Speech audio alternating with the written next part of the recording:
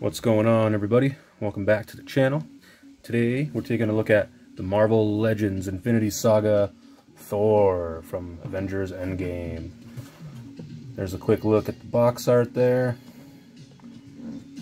Looking good, looking good. Let's uh, see what he looks like out of the package. Alright guys, here he is out of his plastic prison. And first thoughts out of the package are wow. Absolutely wow.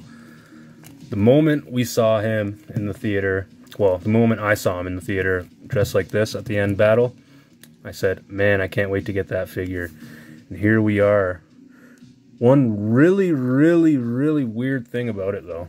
I don't know if you guys can see that. He has a hair stuck in his calf, or his uh, thigh, sorry.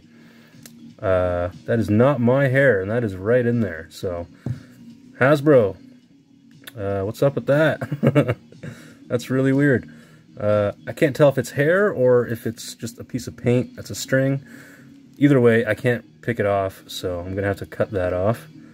Uh, anyways, let's let's uh, let's look at his face here, and uh, yeah, that looks awesome. Would have been nice to have two alternate heads to uh, have like not the glowing eye look, but the glowing eye look looks awesome. So I think it looks good. Uh, let's take a closer look at what he comes with, and then we'll take even more look at Thor here. First off, he comes off. He comes with these two open hands, like I guess like thunder hands. I guess you'd call them maybe. Uh, open hands. He comes with two of them. Not bad. Also comes with Mjolnir, and it's all electrified, which is really cool. I haven't seen one like this yet, so that's cool to have one like this. It's really cool. He also comes with Stormbreaker, which also has that blue effect. I think it looks really cool, actually. Um, yeah, I think it looks better than the other Stormbreaker. And then he also comes with two electrical uh, lightning pieces, I guess. You can wrap them around the, the weapons here and uh, give them that lightning effect. Uh, I think we've seen these lightning effects before, but uh, yeah, they're, they're alright. They're not bad. They do the trick. But uh, yeah, those are uh, his accessories. Let's go back to taking a look at the figure. Quick thought on the accessories, guys. I thought I'd compare the Stormbreakers. The new Stormbreaker is very thin compared to the one that came with the uh, Infinity War Thor. And if this one's actually bent, unfortunately, the one that came with my uh, Infinity War Thor. That's just from him holding it on his shoulder on the shelf. But yeah, honestly, uh, I don't know which one I like better. I think this one looks better. But, I mean, it fits in the in this Thor's hands pretty good. But, um, yeah, I don't know. I would maybe have liked it a little bit thicker here at the bottom. But other than that, yeah, I mean, maybe the blade too. This blade's a lot bigger, looks more intimidating. Yeah, so maybe I would just swap the handles, but maybe put the blue, maybe added the blue effect to this one. But yeah, just thought I'd give you guys a quick uh, comparison on the Stormbreakers there. So here he is again. Um, I'm going to try to yank this little hair piece off. It's not coming. I'm going to have to use the scissors here. What a weird thing to come onto a figure. Like, I've never seen that before. Ever. I just cut it. And it's probably still a little bit there, but whatever. At least it's not noticeable now. Uh, articulation. Let's go over some articulation for this beefy boy here.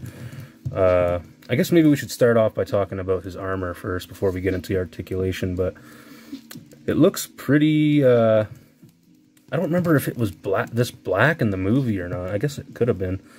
Uh, but the, the scales on his arm, like the metal scales, I thought they were silver, but I guess maybe they are black in the movie. But still, looks pretty cool. Uh, he, so he does have two uh, gripping hands to hold his weapons. You can put Stormbreaker in one hand and then Mjolnir in the other. I actually don't know what hand he holds each of these in. I don't know. Could be having them in the wrong hands here, but yeah, I think that looks awesome. Let's see what he looks like like that. Oh yeah, Oh yeah. Uh, the cape is pretty rubbery actually. Feels like more rubbery and bendable than other capes. Maybe I'm wrong. Maybe it's the same material, but I don't know. It just feels better. Uh, the only thing I'm noticing off the bat with this figure is he is kind of short. Uh, yeah, that's the, really the only thing I'm noticing off first glance. Uh, but we'll get into comparisons very shortly. Let's uh, overlook his articulation. So articulation-wise, we'll start with the head here. His head, his head is a little um, hindered by his hair, but he can look left and right pretty good. Um, down, up. Can't really look up that much, but you can move his uh, his uh, what's it called joint there to look up. His abdomen joint, I guess. Uh, yeah, his arms can't really go all the way back because of his cape, but can move them out pretty far to the side here. He's got those double jointed elbows that we love, so we can flex on them girls from Asgard. and uh, what else has he got here? He's got a really good, the, the middle joint here is really good. Lots of posability there.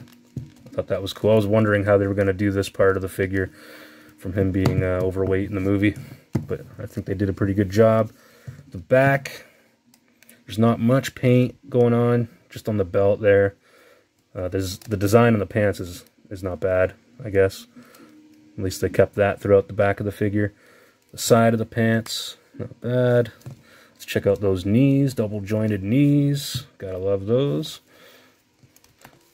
Uh, we'll put him in the Glenn Webb pose.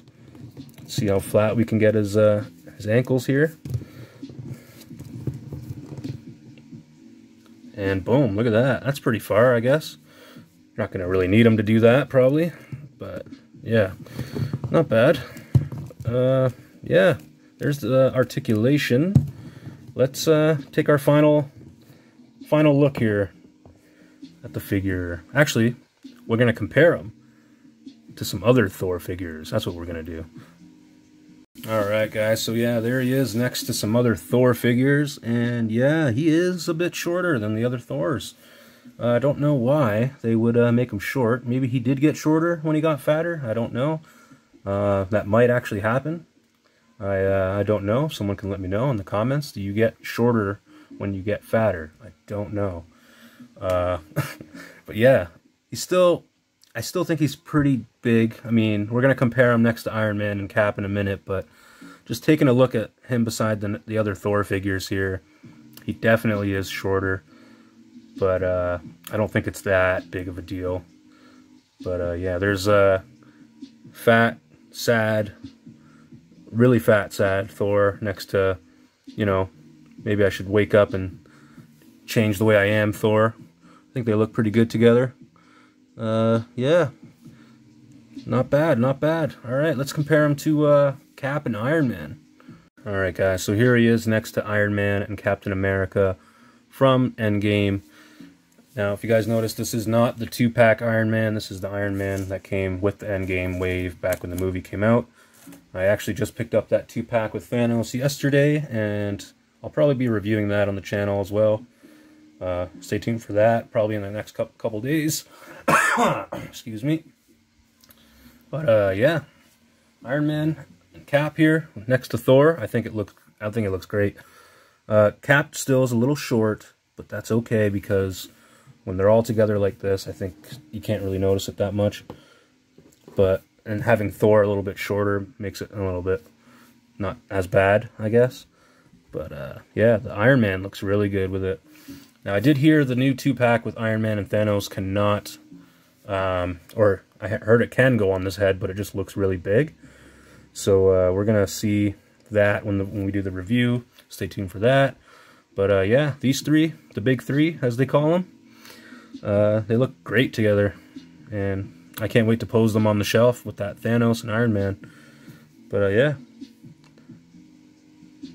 Alright guys, so there is the Avengers Endgame Thor Marvel Legends action figure. Let me know what you guys thought about the figure. Did you guys pick this figure up? Where did you get it?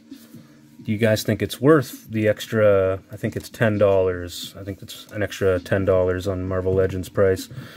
Personally, I think it's worth it just because, I don't know about you guys, but when he showed up on screen like this, when he grabbed both hammers and his beard turned into like a braided beard and his eyes glowed. I thought that was the coolest thing ever. And like, yeah, I've been waiting ever since the movie came out to get this figure. So I'm happy to have this. I hope you guys are happy to have this. Hope you guys liked the video. Leave a like. Um, subscribe because we're on our way to 500 subscribers. If you guys didn't see the last video, we're doing a giveaway when we hit 500. So make sure to hit that subscribe and smash that like. We got more videos coming. Lots of toys to unbox. We're going to have our first unboxing live event tomorrow night.